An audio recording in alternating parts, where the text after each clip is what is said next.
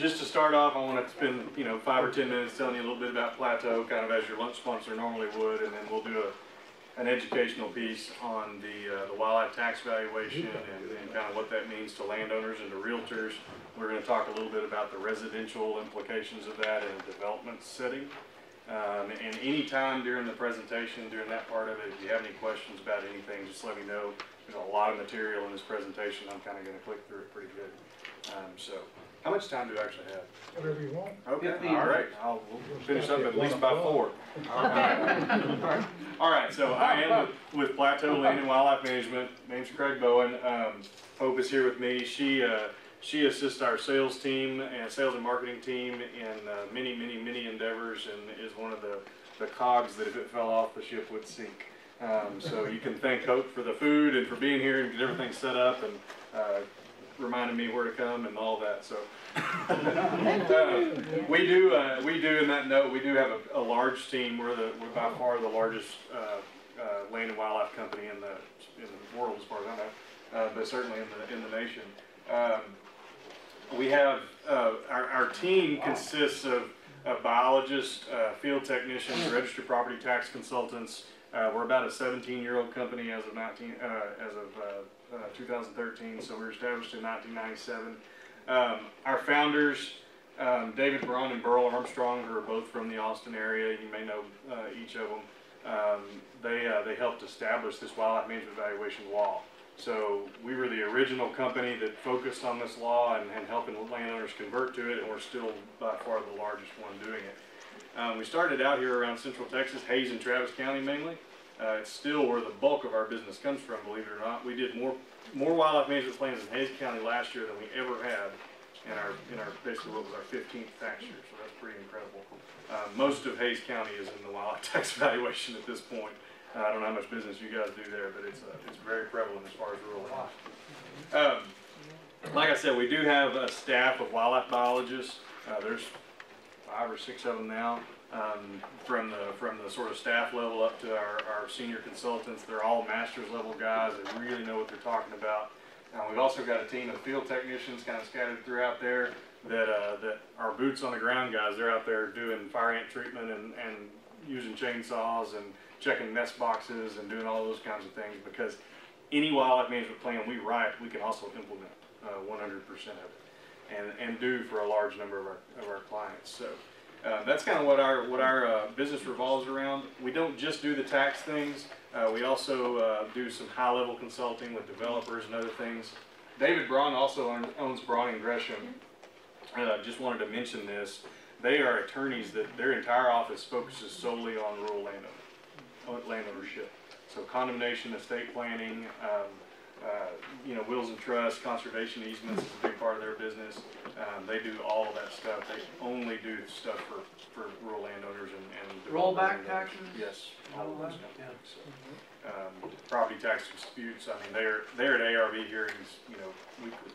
So definitely a, a good choice for that if, if your clients or yourself have any, have any interest or any need for that.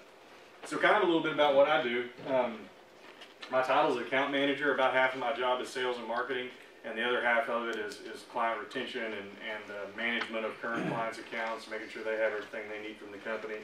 Um, this is kind of my patch right here that I manage. A guy named Casey Mock does all of this over here. Um, and together we, we, we manage every one of Plateau's clients, um, touch them on a monthly basis and uh, uh, make sure that they've got everything they need from us. And uh, if, if somebody signs up with us and comes into the fold in, in this green region, then they'll be dealing with me. Um, and uh, Cameron Bain, Hope, uh, Tim Milligan, our director, our sales director, um, all of us take good care of our clients. So and uh, and talk to them on a one a one-on-one basis. Um, I mentioned the implementation. We have a line of products that Plateau biologists developed, and we have manufactured for us uh, in a, a, a, from a manufacturer in San Antonio. Um, so when I say we implement um, these plans, it's not just you know we can go out there and cut a tree down. Um, we have a whole line of products that are custom to us that we don't you know buy and then and then and then double retail. They're made for us, and we, we manage those and monitor those so they're they're uh, the best they can be each year. Um, funny story about this this this thing right here. This is a platform bird feeder. We designed it for turkeys, but it's a songbird feeder. Uh, as well. It works really well, high capacity, two hundred and twenty pounds of seed, you know, so it feeds a lot of songbirds all at once. You don't have to fill it very often. Well, we thought we'd perfected it. Um, through the years, it's gone through several, several iterations and things were wrong with it, you know, and so we're getting better and better at these products. And this last one, we thought it was just spot on, right? Well, come to find out, one of our clients called us and said a raccoon's been getting on that turkey feeder, and you guys said that that probably wouldn't happen. And so it shouldn't be happening. I don't know how that's happening. The legs come up into the center of it, and you know nothing should be able to get on top of it that doesn't have wings, right? And found out that there was a little bitty lip up under this up under this platform, about that big, and this raccoon would jump up and grab that lip and then flip himself over Oh my God, really? and get on that. Yeah. Yeah, it's like a 007 raccoon, right? so, pretty incredible story. So, next year we're gonna make some corrections to, to that and uh, crimp that lip. In fact, I think we already did. We didn't have to change much to that. PJ, PJ said you had to, you had to crimp that lip, and so they started doing that for us. But Did you- yeah, couldn't believe it. Did you photograph that? They actually got a picture of picture of raccoon, raccoon hanging on the deal. Yeah. And so we asked about, ascertained that that's the only way he could have gotten there from that position was just a, so I certainly could not do that. I don't know how athletic you people are, but, uh, definitely couldn't. They're smart enough to build ladders in the forest. Yeah, exactly. Bring 'em out. I have seen them stand on top of each other, no Yeah. joke, um, to get to a corn feeder, yes. Yeah. Incredible animals. But Anyway, just a funny story about our products. They're all, uh, they're all really great products, really, really well built, so if you have people that, that know. In terms of our, our wildlife management plans, um, we're always really upfront about our pricing and all that. So for about, what we're gonna talk about, this wildlife tax valuation, we write those plans and submit them to the appraisal district, and I'll teach you all about that. But just know that our service generally in that tax, that tax, um, plan service usually costs about two thousand dollars. So if you've got somebody that wants to move into wildlife, it's always just, you can tell them two thousand bucks, Plateau can take care of you, and it's gonna be pretty close to that, unless they own just a large, large acreage, okay? So up to a couple hundred acres, uh, two hundred, two thousand dollars is a really safe, uh, safe number to, to give them. That's Um, for the plan, not. That's for the plan, it's not per year, it's not, does not include the implementation, but it's a flat fee just to write the plan and get it, uh, submitted to the appraisal district and get it approved. Okay, so, just so you know, um, and that's the biggest, and this is the segue kind of into the rest of my talk, that's the biggest thing that we tell people is just have a plan. It's very, very important that if you're go, if you're buying a new property particularly, and you're trying to go into wildlife tax valuation or, or that's something you're thinking about, you know, you need to be thinking about all these things, your budget, what species you wanna manage for, what your property is good for. Uh, you guys as realtors, um, have a, in my mind, a huge responsibility, um, to, to be able to tell a client what the property can do. Um, because they may ask you, and we've had it, we've had that go the wrong way, uh, uh, sometimes. We had a client in, uh, Hays County buy what he thought was gonna be a great vineyard property. And you'd be hard pressed to grow a blade of grass on it, um, let alone uh, a grape vineyard. So, um, you know, it's just, uh, it's just one of those things, but the realtor told, oh, yeah, it'd be super, you know, let's go to the closing table. Um, and, uh, so that, that, that kind of thing is what we wanna, what we wanna try to help and, and educate folks and, um, and all of that, so. Um, does anybody have any questions about Plateau, our business? I'm not gonna sell you any more than anything else, but, I have a question about what you just said. okay? So if that's our responsibility, or at least partly, how would we, I mean, I wouldn't be able to determine what a piece of land is good for Right. necessarily.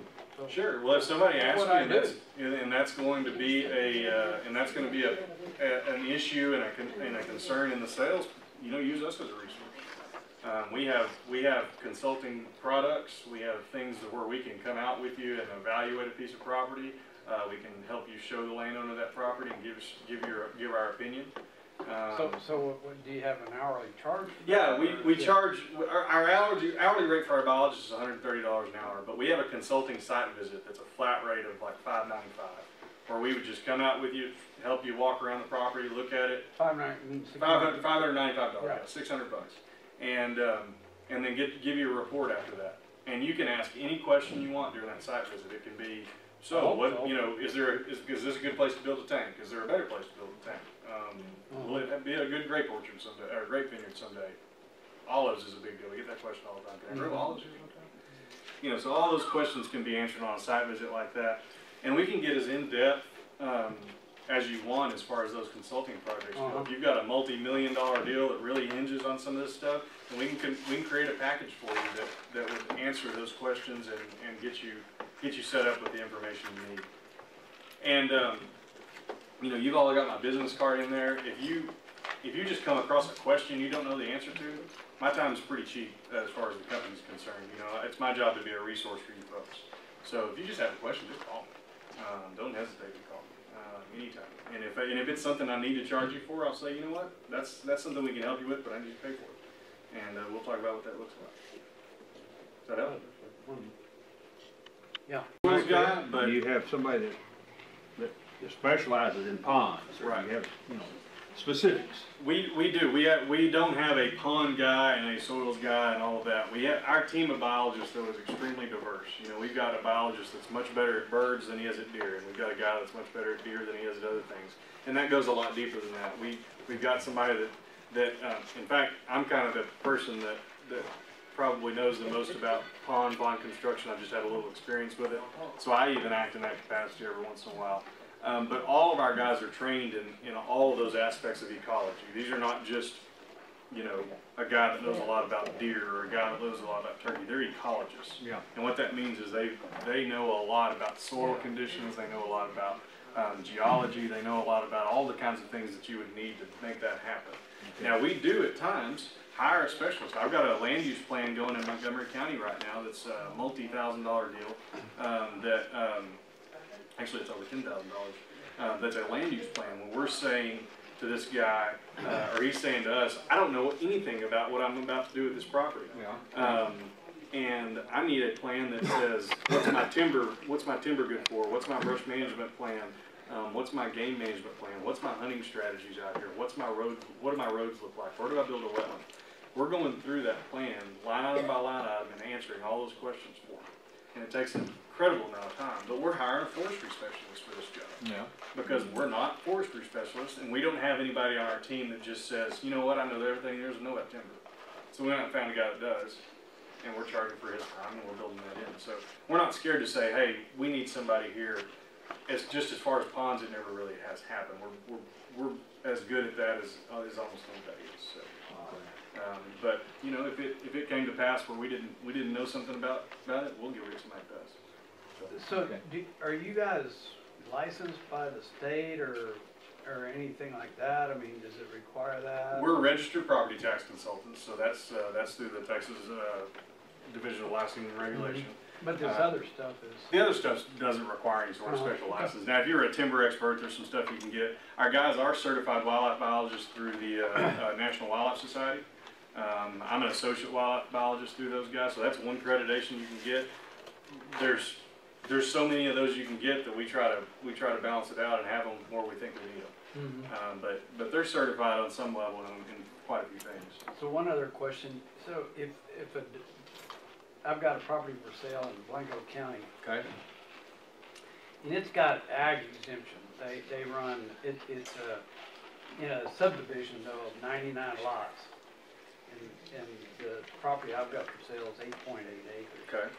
within that subdivision, so they have an ag ex- exemption. Mhm. And the, the, uh, but they, they run, uh, uh, black buck antelope Okay. there. Uh, So, w- would they have consulted with you or a company like your company to, in order to get that? Probably not, because if they would have consulted with us, we'd have told them to make those lots a little bigger, because they get, they're, they're basically stuck in ag now. They can never convert that entire, um, development to wildlife if they wanted to at some point, uh, because of the size of those lots. Um, they're doing black buck because that's considered a hoof stock, exotic animals are considered hoof stock, not wildlife.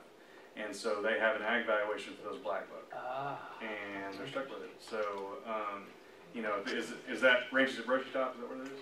uh, no, it's the summit at Cypress Park. Okay, all right. Uh, Brushy Top does a similar thing, I don't know if you know about that development, but, um, I'm gonna answer some questions about the, uh, the minimum acreage requirement and talk a little bit about that as far as what it means in wildlife in this presentation. So we might circle back around to that and talk about it. And before you start, just for perspective purposes or context, can you tell us the typical pe- clients that would hire you? Mhm. Sure, our, our average landowner, our mean landowner is about seventy acres, something like that. Uh, the median is much higher than that because we've got, you know, some other, some other larger properties, uh, that, that kind of skew the median, the- the median, but, um, we work with clients that are ten acres and we work, or even smaller than that actually. We got some folks out like Lake Oaks Ranch that are seven acres. And we've got clients that own ten thousand acres. So we've got a very, very broad range of experience and clientele. Um, just to give you some statistics, we've converted about seven hundred thousand acres into the wildlife tax valuation. And we work actively, in the last five years, we worked with about thirty-five hundred landowners. So, you know, it's, uh, it's a, just to give you some context there as far as, as far as what we'll do, it's almost anything concerning rural land and, and management of that land. And, and is their primary purpose to maximize the benefit, the tax benefit, or do they have other purposes that they need you for? I'd say our average landowner, it's, they're, they're sixty forty. They wanna make sure their taxes stay exactly where they're at and don't ever change, and that's their main concern, cause it's money. Money, you know, Johnny Manziel, right? Money.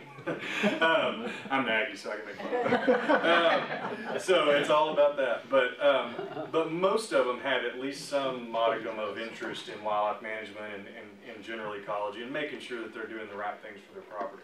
Um, we have clients that are way on the other end of the spectrum that they, you know, taxes are, are, you know, their taxes aren't gonna be that high anyway, cause they only own fifteen acres, but they really wanna manage that fifteen acres for eastern bluebirds, and they wanna do it exactly right. And those folks are, are, uh, you know, they're kind of, they're a little bit more fun to work with sometimes, cause they really wanna do those things and, and spend some money and spend some time and energy, you know, doing it right.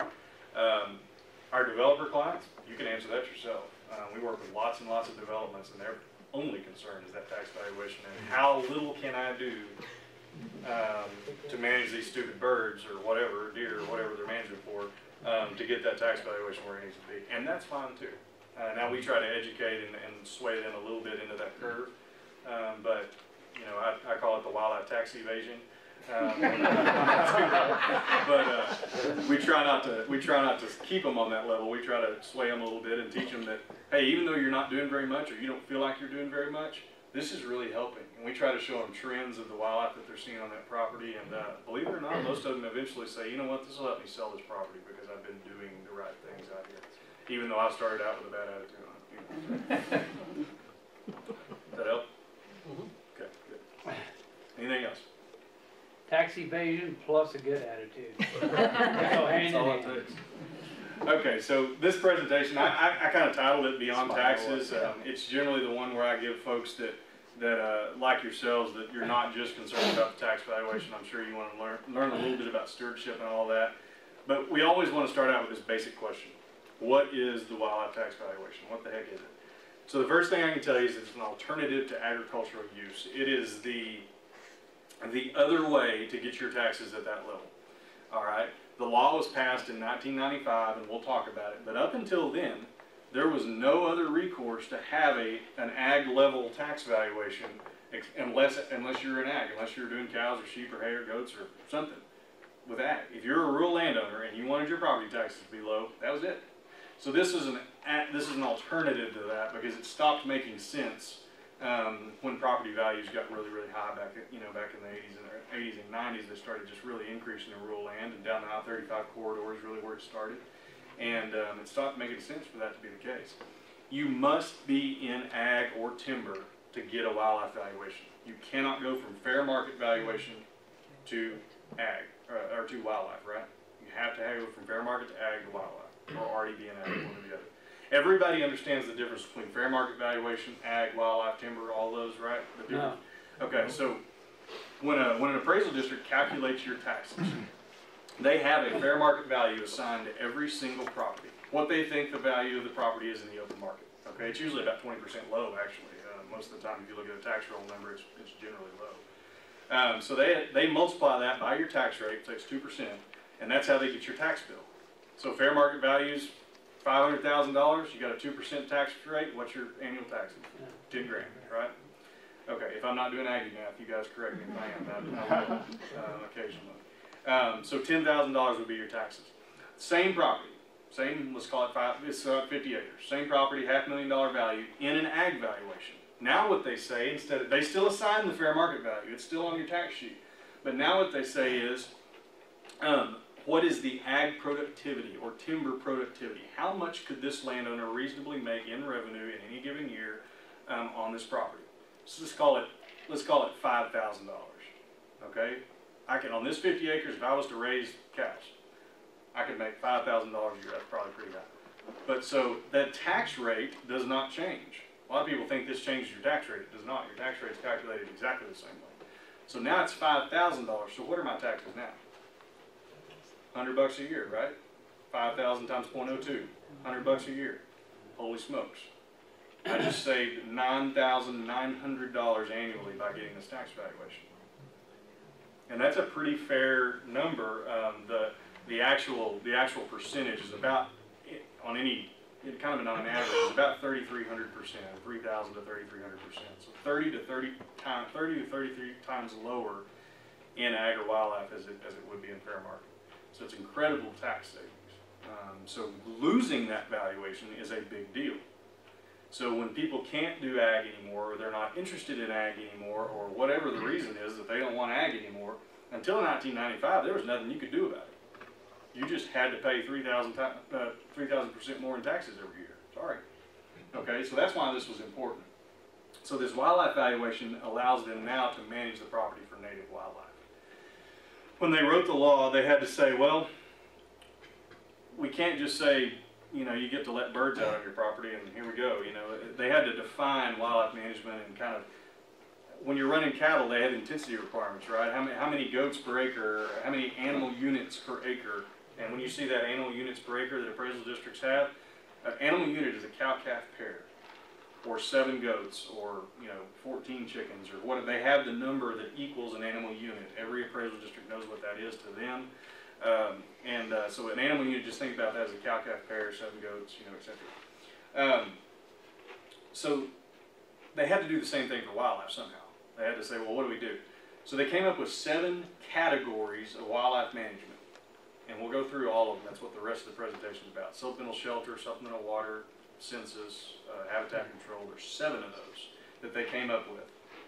They need, in wildlife management evaluation, you've got to do three activities per year that fall in at least three of those categories. So one separate category for each activity. As long as you do three of those, you're fine. So if I, just very simplistically, I've got 67 acres in Burnet County um, that I'll use as, as an example throughout the presentation. It's under wildlife management tax valuation for songbirds. That's my target species. And then I do some things for white-tailed deer because I like to eat them. But uh, my main my main interest is managing for songbirds. Um, each year I do supplemental shelter for nest, with nest boxes. I do supplemental uh, food with a feeder. Um, I do a bird census. I do habitat control, which is cutting my juniper down, and um, something else that I do. I can't remember. Oh, predator control for fire ants. So I'm fulfilling five categories out of the seven on my personal piece of ground, but that's just because I like doing it, and my son helps me, and you know, it's just fun for me because I get to talk about it all the time. Now I get to actually do it. Um, so I need to do only three of those really, but I just do five because it's enjoyable to me. Okay, does that make sense? All right, three out of seven. That's a big thing you need to remember. I get a question all the time. Well, what if they take this away from us? What if they just decide, well, we need more money on our rolls, and and uh, this is how we're going to get it. We're going to go after these wildlife folks. It'd be really difficult to do because this is in the Constitution.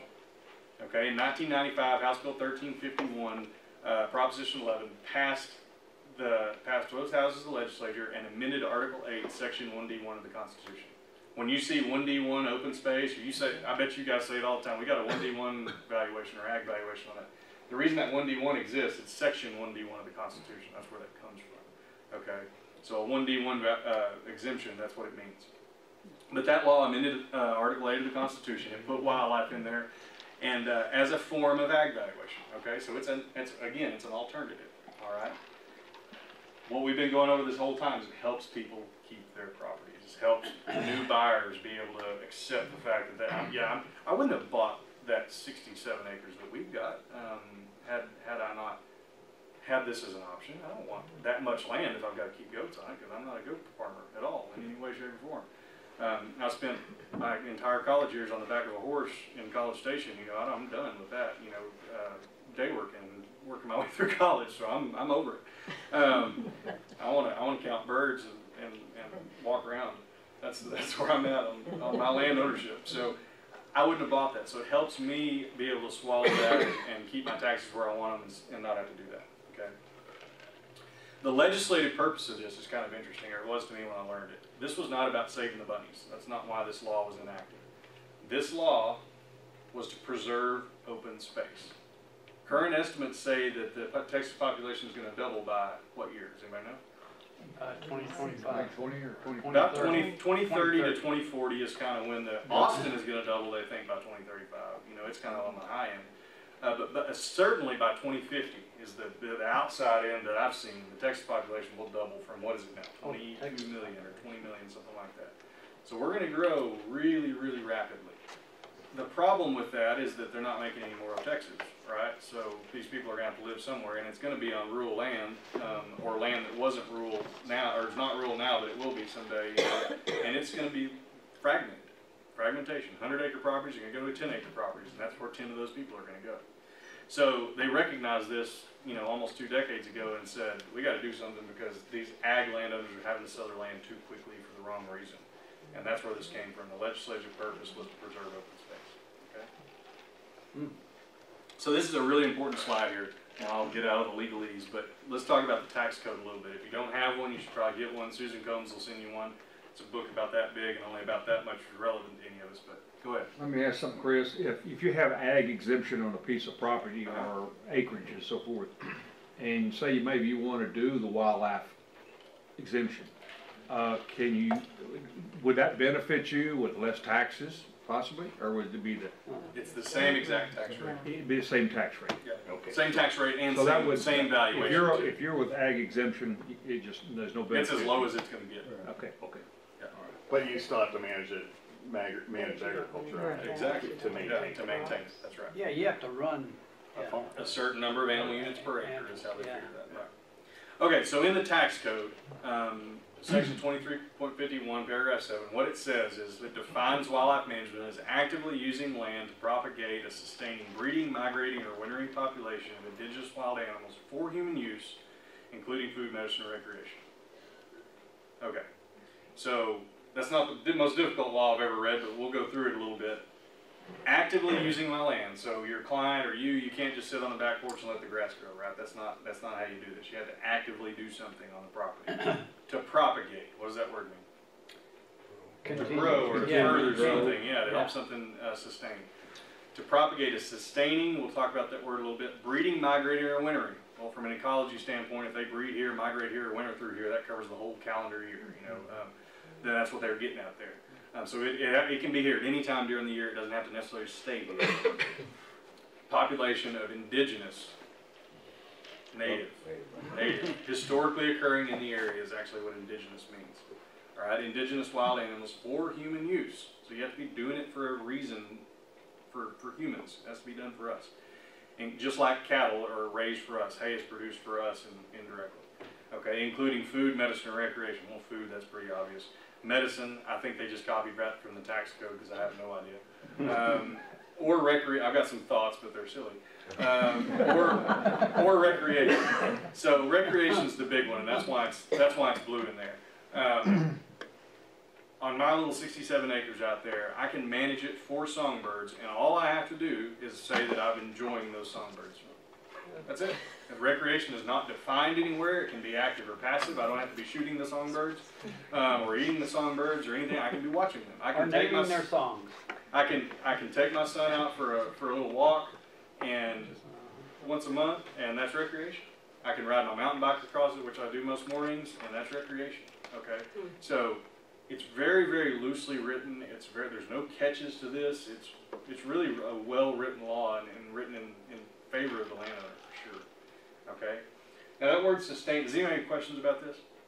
Makes sense. That word sustaining is a is a little bit of a hiccup for some people um, because and I'll, get, I'll come to that because you have to sustain a population of indigenous wild animals. Okay, I talked to a guy this morning that was going to high fence his property in Fayette County and uh, run white-tailed deer on. Okay, he was going to breed white-tailed deer and really really want his son-in-law actually really wants to grow some big bucks. That's what he called himself. Okay, great. How many acres do you have? 150. Going to high fence. I said, well, I said, that's fine. I said, I'm not opposed to you doing that necessarily. I wouldn't do it if I had it, but I'm not opposed to you doing that. I said, do you know what the carrying capacity for whitetail deer in Fayette County on 150 acres is? And he said, no. And I said, it's probably about 10 deer. A deer to every 15 acres or so is very, very common in Fayette County in that, that east, sort of east central Texas area. So I said, you got 10 deer out there. So what's your, you know, you get into some deer management stuff, your buck to doe ratios, how many trophy bucks you can expect from those 10 deer as a percentage. It's not gonna be very much fun, right? I said, so what you're gonna have to do is you're gonna have to artificially sustain those animals, all right? Unless you have five or seven hundred acres in, in most of the state, it's too small to manage strictly for whitetail deer because you can't manage a sustained population, right? If you go to, if this gentleman had thirty deer on that Fayette County property and he went to the south of France for a summer and came back, how many deer is he gonna have? Same number, they're all gonna be dead though. You're just gonna have a bunch of deer skeletons, right? Um, and that's, then that's, it's true. I mean, it's kind of a joke, but it's absolutely true. You can't sustain that number there. So, when we think about that word sustaining in terms of, in context here, we want to be doing things that, are picking target species like songbirds, like, uh, like uh, small mammals, things that you can sustain on the appropriate size property. Now, if I had 6,700 acres instead of 67, whitetail deer is a perfect option, um, and probably need a whitetail deer component to that plan since I've only got 67, I really didn't. I had kind of I wanted to write it for songbirds, but it's kind of a kind of a kind of a uh, the most logical option really because I can sustain a population of songbirds on 67 acres, right? Because they just need vertical stuff. They don't need a lot of this. They just need vertical stuff. Uh, Okay. So that's where that word sustaining comes in. If you have clients, that's part of that responsibility we were talking about. If you have clients that say, "Hey, man, I really want to buy this property so I can grow big bucks and high fence it and blah blah blah." Okay, good, but you need to know these things about that plan. So, in each county, there's, in, in their record someplace, you, you can find out, for example, how many acres you need to have white-tailed deer. They don't cover the wildlife part of it. That's all just covered with, with uh, stock. That's all just covered with livestock. So those animal units per acre, their appraisal district does not translate those to white-tailed deer. Okay, They, they just, but you can kind of, you can kind of surmise that a whitetail deer is about like a big goat. No, they eat about the same things. They compete with goats, um, uh, 100%. So, you know, think about it like that. Most of Texas, just an FYI, most of Texas, on average, is about one deer per every 20 acres is a good number to shoot for. man. Yeah. Okay. Wow, Yeah. So, and remember, we're talking about sustaining. We're talking about sustaining. And With and the word sustaining means humans don't have anything to do with it. That's why. That's why whitetail deer are in my plan, guys. I have about 25 resident deer. When we moved in and took the goats off, all the other goat people's whitetail deer went, and they live on our property now. so you can do the math there. 67 per 20. That's way more than a deer per every 20 acres, right? I need three. I've got 25. Um, so we do a little bit of deer management. It's not because I don't want to see deer, I hate deer, I don't like deer. Um, it's because that's too many. It interferes with my songbird management. It's not good for the property. It's not good for the deer. Uh, that's, it's true. I mean, you have to harvest some deer to keep the deer healthy. Uh, just like if you have a fishing pond, you have to take bass of it out of it every year um, to keep the rest of your bass, health, bass healthy. Right? Okay. Don't want to belabor that too much, but just understand that that sustaining word is very, very important. So you may have heard from an appraiser or someone that there's a minimum acreage requirement for the wildlife tax valuation. It's kind of true and not. If you're already in ag, if the property's already in agriculture, I don't care if it's five acres or five million, and if you know somebody with five million acres, I'd like to talk to you after the. But if it's five acres or five million, you can convert it from ag to wildlife, period. End of story, end of question. If it's three acres, it's gonna be a battle, the appraisal district's not gonna like it, but legally speaking, there's no minimum acreage to convert from ag to wildlife. Okay? Because there's no minimum acreage on the ag valuation. Alright, What about the other way around, or, going from wildlife to ag. uh, Um, what I would say about that is that there needs to be, there's not, but there needs to be a minimum acreage requirement for agriculture. Because if I've only got ten acres and I'm supposed to be running a cow to every twenty, or an animal unit to every twenty, I can only have half a cow. And that's hard to manage. I mean, it, it just, it doesn't make mathematical sense. It's never gonna work. It's not gonna produce anything. It's not gonna make the guy any money. It's not gonna be fun. It just doesn't make sense.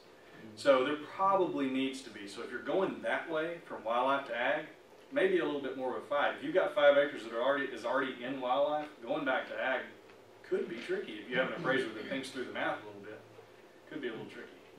Going from fair market to ag is a little bit funky, even though there's not a limit on the ag valuation, there's not a min- a minimum size. If the appraiser were to say, well, you need, um, an animal unit per, per fifteen acres, and you don't have fifteen acres, so what are you gonna do? Well, I've gotta do bees, or I've gotta do chickens, or I've gotta do something else that makes sense, you know, I can't do a real traditional cows or hay, or, you know, something like that. So, Hay not work, uh, in some instances, hay might be your best bet, but anyway, Fair market and wildlife, how's that? fair market to wildlife is impossible. You have to be an ag first. You got to be grandfathered in. I Yeah, guess. that's right. There's a program called Ecolab, and I won't, I'm not gonna talk very much about it, but if you have a property that's over about fifty acres, or there's something really special about it, like Lake Travis Front, something like that, like, uh, Pe- Pedernales River frontage, something. Fifty acres in fair market, there's a program called Ecolab, where if your client's got a little cash flow, you can kind of buy yourself into an ag valuation very quickly.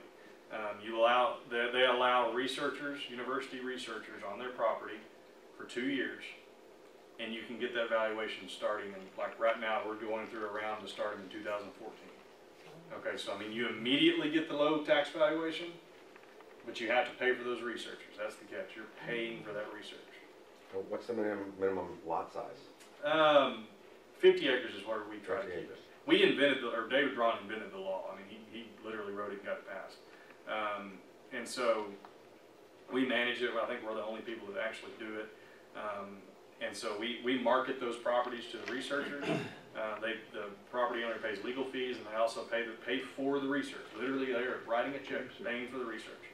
Um, but a lot of times, it's about the same amount. If that guy's got fifty acres on Lake Travis, it's in fair market, his taxes are, you know, thirty-five thousand dollars a year, we can do it for thirty-five thousand dollars a year real easily. So he may spend fifty thousand in two years, but that's already a savings for him, and then after year three, researchers get off, he doesn't have to write that check anymore, and his taxes are thousand dollars a year. Big deal, right? So, really huge deal there. It doesn't fit a lot of properties, but a lot of people it really helps out. Okay, if you know somebody that's lost a valuation or has got a big property without one, um, that's a good way to do it. You say that moves it over to ag or not to It moves wildlife? it directly to Ecolab, which is the fourth special use valuation. Okay. There's ag, timber, wildlife, and Ecolab.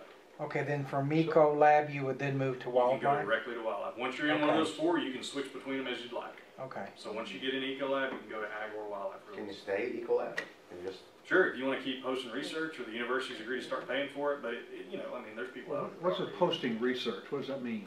What- They, they, the, the mandate says that they have to come out and do research uh, that benefits the wildlife community. Um, or So you have, you have, researchers, experts to go out? or- The, the university has master students, PhD students that are looking for rural property to use. And so we we, uh, market those properties on a special website every summer. We go out and do a habitat assessment on the property, we market those, uh, those res- those research properties on the website. The universities start getting on that website about May and picking out properties that they want.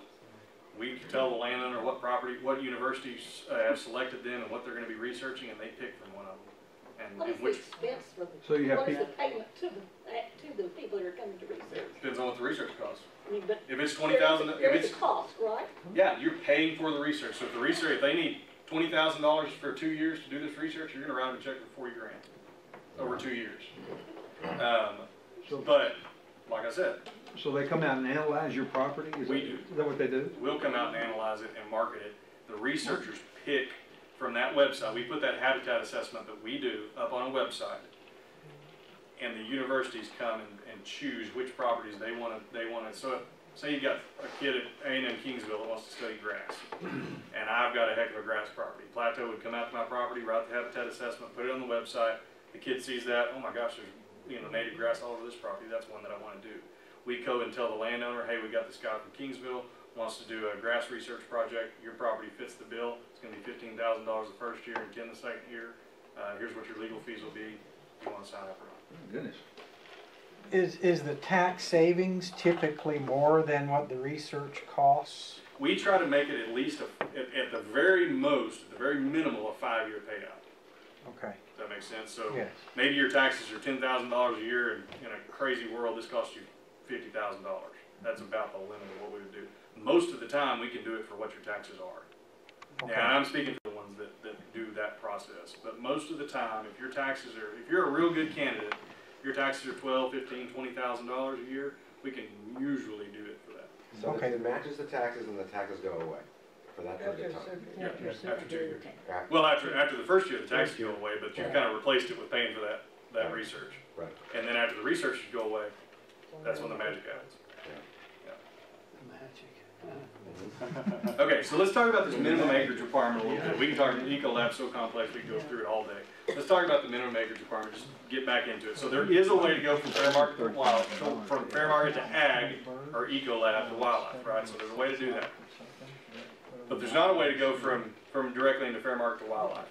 The minimum acreage requirement that everybody always talks about is when you go from ag to wildlife on a small property. Okay, there is a minimum acreage requirement for that. Okay, so by appraisal region, there's a threshold, and it varies all the way across the state. There's a formula that the appraisers use to figure it out, and I can tell it to you if you want. But just know that in this appraisal region right here, and every one that you guys probably work in, I mean, it, it goes from, uh, from the yellow to all the way over to the green, it starts changing over here. And that one's a little bit different. But in, in this appraisal region that we sit in right here, uh, the minimum acreage requirement to go, to convert from ag to wildlife is sixteen point six acres. Okay, sixteen point six, and then, then that's a funky number, but then there's a funky formula that goes along with it. Um, that means if you've got twelve acres and you're in ag, um, you need to, you need to stay in ag. Now, the reason I tell you this, I'm kinda saying this wrong. There's not a minimum acreage, let me start, over. there's not a minimum acreage to convert from ag to wildlife. If you sell the property though, there's a minimum acreage to keep it, so mm-hmm. kind of messed that up a little bit. There's not a, if you've got sixteen point six acres, you can convert from ag to wildlife all day long, okay? If I'm already in wildlife, that's where I messed this up, if I'm already in wildlife, I have to have, I have to retain sixteen point six acres to keep it that way. The best way I know to do this is a, is a scenario, kind of a formula. So if I've got hundred acres, and this gentleman wants to buy ten of it, and it's in wildlife, and I convert, it's lower, and I sell it to him, it's, that ten acres is lower than that sixteen point six, correct? He can't convert it to wildlife, he would have to keep it in ag for at least one year and then convert it. He would lose that valuation, uh, if he didn't go back to ag. Okay, so, my 90 is fine, I'm, I'm good on my, on my part, okay? But if I sold him twenty acres, we could both stay in wildlife without having to do any funky stuff, we could both just reapply being wildlife, okay, because we're both above that. If you have, so, sorry I messed that up a little bit, is everybody, did I retract, okay? Alright, so, if there's a, a wildlife management property association, okay? Then the property can be smaller, twelve point five acres in this appraisal, region. So that, that probably hits a, a little bit different note on, on some of your clients. That's why I was saying that that, that landowner, land- that, uh, development in Blanco stuck with those black puck because all those properties are eight acres or six acres or whatever they are. Only the ones bigger than twelve point five, if there's a wildlife management association, could ever, could ever, uh, convert back if they sold that, right? So, Uh, go ahead. Well, I sold a property out west of Dripping Springs, just off of uh, two ninety. And uh, it, it was in a wildlife, the, the development was Mhm. a wildlife, in, in a, in a, uh, an association, yeah. And, uh, but, but the tract of land wasn't, you know, the small tract of land wasn't anywhere close to. Yeah, because it was grandfathered in from ag. So they, ag, they built that association, went all the way to wildlife and, and kept it that way. See, what happens when you're a developer and you, you start a thousand acre development, the developer owns all of it, whatever, whatever LLC owns that big tract of land, right? Thousand acres. Yeah. So if it's in, if they convert all of it to wildlife, which normally they do, they'll convert it all to wildlife, when they start selling lots, as soon as that lot is alienated, if it's less than twelve and a half acres, it can't have that wildlife management valuation anymore. Wait. So Oh, what twelve is, and a half, okay. so Oh, Does it matter if it was split up because of family? Inheritance? You know, you had a big plot and it's, Yeah, um, if, if- if it's alienated. Yeah, no it- matter what. Yeah, no matter what, that name changes. Even a family, sometimes you can get away if it's a family LLC and it goes to members of the LLC individually, sometimes they'll let you do that. Um, but the big catch about that WMPA is if they're, if they wanna do a conservation development, you know, that's what you always see, cause they're just gonna be more than an acre and a half. Um, if they wanna do something like that, those tracks better be bigger than twelve and a half acres, because if they go, if they keep it in ag, those tracks can convert no matter what. Okay, they can always convert because they're in ag, but as soon as they convert it to wildlife, when they alienate that property and, and developer LLC doesn't own that property anymore, that landowner better have more than twelve and a half acres when they refile that plan, or they'll lose the valuation. Can they go to ag? They can go to, Can they go Yeah, back to they, they could go, they, well, they could keep it in ag. Uh, if they're in wildlife, going to ag, again, you get into that sustainability question. Because of the size? Yeah. Legally, I think they can. I don't think a lot of appraisal districts would go for it though. Yeah. So it might be a real big fight. And if none of your neighbors are doing it, be rough. And you gotta go sustaining insects or something. Yeah, exactly. What do you really do to sustain? So, So if the, if the development is already in wildlife, um, and you're selling a, a property, it better be twelve and a half acres or larger, if it's in the Wildlife Management Property Association. The other thing is, a lot of developers don't, don't take that step, so they're still stuck at the sixteen point six, okay? Um, now over in College Station, these numbers are, uh, fourteen and eleven or something like that. So they, they change throughout the state, no matter where you are. But you can call the chief appraiser and ask him what his, what his, uh, WMPA number is. Okay, now, are there tracks in Texas that are five acres or less that have these exemptions because they've been grandfathered? Sure, there's five acre tracts that are in ag all day, Okay. all day long. Okay, so, um, can you explain the, how the grandfathering works? I mean, th- can that still be done? Um, if the track's been in ag and the appraisal di- district feels like they're successfully managing their ag valuation, then yeah, it, it, What it's if they done wanna all the sell it? time. What if they wanna sell it? I just, uh, part of that sixty-seven acres that we bought was a five point four five acre tract that had ag on it. Um, and, uh, they told me I could keep the ag valuation, I said, well, I'm gonna convert it to wildlife, and she said, okay, but Robin Copeland in Burnet County was cool with that happening, so. Okay, so, so let's say that there's, uh, four contiguous owners of five acres each. They can't get any of these exemptions. Four, so say your numbers again? Four contiguous owners Four contiguous of owners, five acres five acres each. each. So we got a total of twenty acres. They can't consolidate, can they, and get the exemption for all four since they're contiguous? No, It has to be Okay. twelve point it has five to be twelve, it has, to mo- to, you're talking about fair market to, Yes, from fair, yeah, fair market. fair market to uh, ag. But- Yeah, they have to each establish their own ag history, then they can consolidate, once they had ag, which by the way, how's that process work? It's five years of agricultural history, and on the sixth, basically the sixth year you apply and get the valuation. So it's five years of history paying full market taxes, sixth year you get the valuation. On the seventh year, they can form a WMPA and get all that into wildlife, because it's been in ag for a year, they can get it into wildlife. But if one of them ever sold the property, it would take that five acres out and they couldn't do anything. Right, and, and for them to do that, they don't have to consolidate the property into one ownership. They can actually have four different ownerships and still, uh, do that process you're talking about and get the, the ag exemption. Is that what you're saying?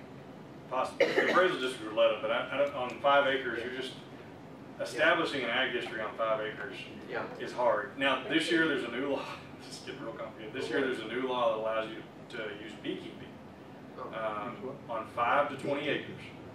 You can use beekeeping, new of two thousand thirteen, but it is extensive.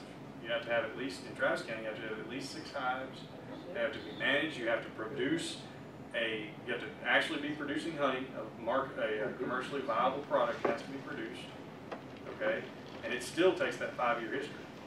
yeah, So you're gonna be managing bees for six years. Now, probably, it's Austin, you probably find somebody to do that. Um, but each hive setup's twelve hundred bucks per hive, you know, it's not an easy deal. That's cheaper than building a fence. Um, especially if you own eighteen or nineteen acres, you, where you're way up there on the, on that five to twenty scale. It's cheaper than building a fence. Gives But you this hives. gets- What's that? Six hives, you said? Six Gives you times. hives. How many bees would that be? Lots. If you, I got a question, if you've got several landowners that's got substantial acreage continu, continuous with each other, and they wanna establish a wildlife management association, what, what's, what's, what's the deal on that? Or what, what, how's that, how does that work? You, you have to form the association as an entity, right? And so a, a, a lawyer would put that together for you. And it has to be, uh, it has to be a wildlife management plan association or property association is how that's worded. Um, Cassie Gresham and Ronnie Gresham is the one that does all those for, for our clients. We just finished one in Brazos County, um, because they were all, um, they were all ten acres, or nine, ten, and maybe eleven acres, but Marcus and BCAD, see, even though they're close, we need all those to be eleven point one acres if you're gonna do a wild management property association. And, uh, so we redrew some lot lines and made them all eleven point one acres, and then we formed So the you, association. you have to have a minimum, of each, each property owner would have to have a minimum, so many acres. Yeah, that's, that's You what have that to number's for. re-subdivide, Okay, to okay. re-subdivide the lots. We did on this case, because one of them was like eleven four and the neighbor was ten two. And that takes a long time. So we had to just, we had, well, Cassie did it pretty quickly, but yeah, but, and, and Marcus at Brazos CAD was supportive of what we were doing, he was okay, you know, he knew what we were doing, and so, um, he was fine.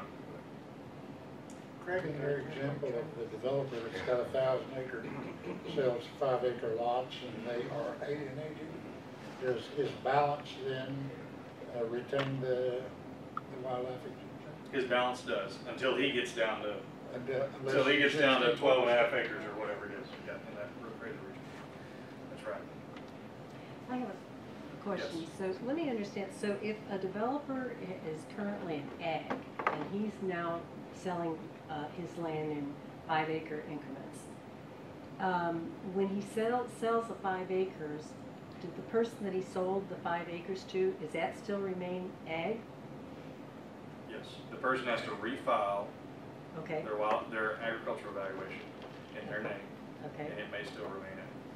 Even though the ag exemption, they've got Longhorn roaming through the, so does that individual buyer of the five acres, does he have to go out and get animals to put on his five Certainly acres? would. Okay, Certainly would, or, or have somebody lease it, or, there just has to be ag on the see. property. He Gotcha. doesn't have, physically have to be administering the ag. okay, gotcha, But, but he has to do something. okay. I know there's a lot to this, guys, and I didn't help you out, anybody messing up that first example, but is there any, is, are we fairly clear here? Yeah. Clear clear as mud? Yeah. So we've got a, what's that? You need to call each. Yeah, count, call the county you're in, or learn your appraisal regions, you know, they're on, uh, I think Texas Parks and Wildlife has this exact map on there, and figure out that. Uh, So. Y'all probably have it, don't you? Yep, right there. Uh, uh, no, we, we know, we know more often than not at what county, what fall, you know, what the number is in each county, uh, more often than not. Is there any, is there anything funky about Williamson County that you can pick up right? No, the numbers match the sixteen point five and twelve and a half. What about Guadalupe? They should match that too. Anything that's kind of along the I-35 corridor, once you get east of thirty-five, the appraisal regions get small quickly. Uh, Or the numbers get small quickly. So getting back to that wildlife association plan, is that, you have to have an attorney to work up that It's information? best, yeah. And, uh, it- does that take a long time? No, no, I mean, we, we did this one in Brazos County in Belmont, you know, it's, Wow. Okay. a That's pretty quick. So Craig, uh, back to your earlier uh, marketing. um, If we are consulting with or selling somebody a tract of land and we need to know answers to that, we have them call you. Absolutely. The best way to get the answers. That's the best way to get it. And we'll be happy to take those calls. Okay. Okay, so we just got a little bit of time left. We're gonna get after I want, I wanna go through the, the plan process, kind of some of those activities now that we kind of have a grasp on what the valuation is and what we're gonna do with it and some of the numbers. Let's go through the, kind of the, the blocking and tackling as far as administering one of these plans. So you need to pick a target species. I believe I haven't said that just like that, but you need to pick a target species for your plan. You need to pick at least three categories that you're gonna manage with that target species, preferably more. A plan, really, the ones we write look like a menu, you know, Joe John's gonna do this one, this one, this one, but he can do this one and this one, we're gonna put more in there than what he needs. Uh, okay, so, um, so if one year he just doesn't have the budget for his twenty thousand dollar brush management project that we wrote up for him that he wanted to do, just was a bad year, um, he's got another option. He can go, he can go do a bird census that he hasn't been doing, and that, that fulfills it, okay? Some of the target wildlife that we talked about, uh, white-tailed deer is always a big one in Texas, but we've kind of already belabored that a little bit. Turkeys, songbirds, bats, quail, small mammals, butterflies, whatever they want to manage for, literally. It has to be indigenous, has to be kingdom animalia, it has to be an animal, it can't be a fish or a plant. Um, well, fish are kingdom animalia, but it can't be a fish. Um, because we own the fish, that's the deal with that. If you have fish on your property, you own them, unless they're in an navigable river, so, um, it can't be something that you own. Um, and no plants, so, you know, those are the common ones. Songbirds and, songbirds, turkey, and deer are probably the main ones, and some small animal plants that we ride. Songbirds, turkey, and deer are eighty percent of the ones we ride. How do you do bats? Bat houses, uh, having a good supply of water where they can feed, it's a, bats are an interesting one to try to get three activities out of. Songbirds, sevens, plenty easy to do. You know, white-tailed deer, it's easy to do seven, seven. Songbirds, is it just, is it just having water and feeders? You can do, uh, well, I mean, it can be just that, but uh, remember, there's seven categories, so Right. you can do things for all seven of them. You Need three activities. Right, exactly, but you need three activities. yeah. Water, feeders, and uh, census would be three. Okay. right? Water feeders, and firing control would be three, you know, predator control. So just remember, it means actively using the land. So let's talk about the activities. Supplemental food, supplemental water, supplemental shelter, habitat control, erosion control, predator control, and census are the seven categories. Okay? Well, that's the- How, how do they do the census? Um, it, like a bird survey that we do is we pick points of the property and we come out, stay at a point for fifteen or twenty minutes, move to the next point, stay there for fifteen or twenty minutes, move to the next point, count every bird that you see and hear. Um, you know, I'll, I'll be standing there with one of our biologists and I'll see five birds and thinking, "Wow, five birds, how many did you get, Mark? Oh, thirteen. Uh, cause he heard them, you know, without ever seeing them, he just heard them. identify them Yeah, by their yeah, call. yeah, yeah. You're not just out there counting birds, you have to be what species it was. You gotta, you gotta learn this stuff. Yeah, and I haven't. Uh, so, uh, the birds are tough. I mean, they really are. So I'm getting better at my ID, you know, uh, visual ID, but you know, learning those songs is tough. So that's how you do a census. I suppose, I suppose a Learn birder, those a, a songs. professional birder, Yes. could make a living helping folks like you Sure, around the sure, state. Absolutely, and we do contract with some birders. Most of, most, I mean, ninety percent of our surveys we do in-house, but we'll contract. We have one in Palestine. You know, uh, Victor Emanuel? Um, anyway, uh, but white-tailed deer census, if you did a camera survey or an aerial survey or a spotlight count, you know, that all, that all counts. So any kind of, a small mammal survey, you know, with remote cameras and little scent stations is how you do that. So, you know, there's a lot of ways to do a survey, all right? So those are the seven categories. There's deadlines for all those, right? You have to do them every so often. No, you have to do them the to a certain intensity level that we'll talk about, and you have to do them when it makes sense, and we'll talk about that too. Uh, So supplemental food, we're gonna, I mean, that, there's seven of these, we're gonna do seven slides. Supplemental food, um, everything that you could imagine, the most common one by far, though, is just using some kind of feeder. Spin cast corn feeders do not qualify for white-tailed deer, because the feeder goes off, feeder goes off when you say it goes off, so the food's not available to them all the time. And they're feeding corn a lot of times. Corn's nutritionally vacant. Uh, it's like giving a kid a candy bar. Doesn't hurt them, but it doesn't do any real good either. Um, so, so that doesn't count. If you wanted to do a protein feeder for white-tailed deer, that's fine. Protein block feeder like we make is fine. Uh, but something where it's free choice and uh, it's nutritionally valuable. Um, our most common, you know, feeder that we that we sell and that, that a lot of people use um, is some version of a, of a barrel and, and, and free choice bird feeder, whether it's on the ground for quail or, or turkey or it's up high for turkey or songbirds, you know, just some sort of large free choice feeder like that. That's the most common one for birds. That's how I do my songbird feeder, uh, is, is just like that. So uh, one of those every 150 acres or so qualifies. Um, that's probably not enough in my mind. I think I probably need a second one on my property just to kind of make me feel better. Um, so that's very subjective, but but um, a lot of these intensity requirements are in the law, and a lot of them aren't. So when we talk about how many you're supposed to do of something, sometimes it's subjective. Sometimes it's just what we've had experience with. So that's supplemental food. You need to be feeding year round. Um, there's some exceptions to that, but most of the time you need to have food available all the time. if That's one of your qualifying activities. all right? Supplemental water, big thing in Texas. Um, a pond does not count as supplemental water. Unless you're feeding a small pond that's lined with a well, you know, it doesn't need to be qualified as supplemental water. Don't have people run well water into a nasty hill country tank that leaks like a sieve, you know, that's not good stewardship. Um, so ponds by and large don't qualify as supplemental water, okay? If you, well, I will give that in a second. Um, these water tables is probably the most common thing we see is some form of that, that's ours, that they catch rainwater off the roof, feed the gutter, it feeds this three hundred five gallon tank, and then fills this, uh, little dog pan up here, and that, that's your supplemental water source right there. Um, and, um, you know, hogs don't mess with it because it's such a small area. There's, there's a couple of those like that on the market. Um, but that's, that's supplemental water. It counts as a ten-year activity to put one of those things out there. So for the next ten years, you only need two activities, right? Because you got one for ten years. Um, I would subject to you that even after ten years, that, they'll probably still count it. Um, so, pretty, pretty neat little, uh, way to do supplemental water. Um, the intensity requirement on those is a bit loose, you know, one per, uh, one per property is kind of how I understand it in the appraisal guidelines. I would say that that one hundred fifty acres or so is probably a good idea. You know, I would not, if I had a thousand acres, I would not just put one of those out there.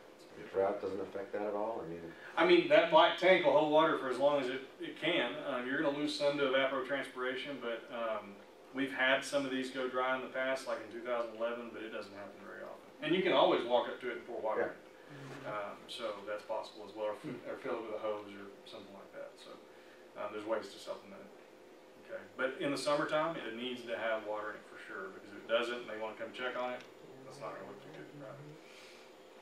Okay, supplemental shelter. Um, by far, the most common thing that we see people do with supplemental shelter is nest boxes. Um, I don't know how many of these we sell, sell every year, but it's hundreds and hundreds and hundreds. Um, and I use them, um, the nest box intensity requirement is one nest box per every five acres, not to exceed forty.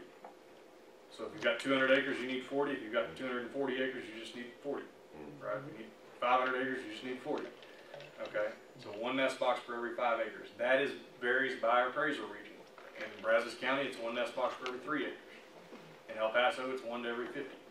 So it just, it mm-hmm. varies by. You can appraisal have region. more. Absolutely, and I It's just would. a I'd have five extra just in case. yeah, just in case How you much have, is them- a have, them nest have box? wasps in, What's What's the expense? What's in a desk, this box cost? Uh, twenty-five bucks. that's true. We install and we charge for the installation on ours, so, uh, but, but yeah, you can get a nest box for pretty cheap. Buy, if you buy nest boxes and for whatever reason don't buy ours, buy ones that are made out of cedar or juniper, you know, cedar wood. Because in Texas, it gets too hot for the plastic ones, PVC ones, a lot of times get a little hot. We sell a PVC bluebird box, but it's big enough that it's, it's okay. Um, they make ones that, in- made out of concrete, and they make all kinds of stuff. It just gets too hot here to use those. So you don't only wind up with four legs. Um, so supplemental shelter is very important. And somebody said something about it being filled with wasps. Oh, yeah. That's okay. This is not a results-based deal, right? Okay. You don't have to have birds in every single box to be able to qualify. Right. You provided the shelter, if the birds chose not to use it, that's their problem. Um, so, you want to have the right kind of stuff out there for the right species that are present. I've got sixteen boxes on my property, or eighteen, and I've got five bluebird boxes, and only those five were used this year. The rest of them are, are, there's nothing, and, and I haven't checked all of them, every single one of them, but I don't think any of the rest of them got used, but those five bluebird boxes did, that's fine. Um, that's just, yeah, that's what needed shelter on the property. Apparently the wrens and titmouses didn't need any shelter, because I know I've got both species, but they didn't use the boxes. There you go. Any questions? Yeah, what kind of compliance, uh, uh, who checks compliance or? The, the appraisal district is, the- they are solely responsible for, for monitoring this stuff. So if they wanna come visit, they can. If they want to send you an annual report request, they can do that, where you provide documentation for your activities each year. Travis Williamson, Hays, Blanco, Burnet, Lampasas, Llano, uh, Bexar, Guadalupe, Comal, Bastrop, all of them ask for annual reports every year.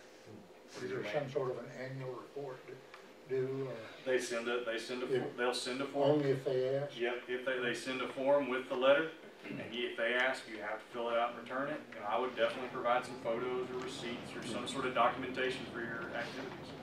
take pictures of your fire ant treatment, take pictures of your boxes, you know, that kind of thing. We have just a couple more of these if you wanna finish those. Yeah, yeah, yeah. So habitat control, um, really, if you're gonna manipulate the plants on your property, that's habitat control.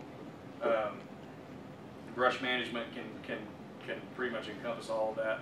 Prickly pear, cedar, mesquite, uh, yaupon, any of the suspect species, Chinese tallow, China berry, ligustrum, all of those species can fall under that brush management component. The intensity requirements, one, uh, ten percent of the property not to exceed ten acres, or ten percent of the brush management area. You define a brush management area on your property, ten percent of that not to exceed ten acres each year. Okay, so you have to do, you know, a fair amount of brush management. Like on my property, my brush management area is thirty acres, and I have to do three percent a year. Okay. Any other questions? I've got one. Or you got one more? Yeah, there's, there's seven of these. one more minute, so go ahead. Yeah, there's seven of these. Erosion control, um, if you're gonna do erosion control on your property, um, basically what that means is new lake construction or a major repair costs a lot of money, it's a ten-year, another ten-year activity. The intensity requirement is very loose, I mean, if you're doing earth, earth, earthwork at all, if you with a machine, that's, that qualifies, okay? So new lake construction, major repair, gully shaping, any of that kind of stuff is erosion control. What's considered lake versus pond even? Doesn't doesn't have to be some kind of a, uh, barrier, but so it doesn't just sink through the, It doesn't have to be, there needs to be a lot of times in the hill country, Right. it doesn't have to be, okay. all right? What are you What doing with uh, feral hogs? I mean, what is your That's, predator? that's what I'm talking about. Predator control, feral hogs, you shoot them or trap them. Um, you, this is one of the ones you do kind of have to be successful with. Um, if you don't have, if you, if you're not being successful trapping or shooting feral hogs, you probably don't have a problem to begin with. They're not gonna count that very many years. Uh, fire ant control, um, you pour bait around the mound, uh, take a photo of it, that's your fire ant control. You need to do ten acres of that on, on, or ten percent, whichever more in this instance, as far as the, uh, intensity requirements concerned. Predator control can be every single plant, guys. I mean, everybody's got either fire ants or feral hogs or both. So that's predator control and the census. Raccoons are a predator. census- Yeah, they can be, uh, on songbirds. If you got a white-tailed deer playing, raccoons don't need to be in there as a predator. Census, we've already talked about up front, songbird, census, small game census, white-tailed deer, all those things. Sorry we had to click through those, but we spent a lot of time on Yeah, the minute makers and all that. Thank you. Great. Great, Right. yeah.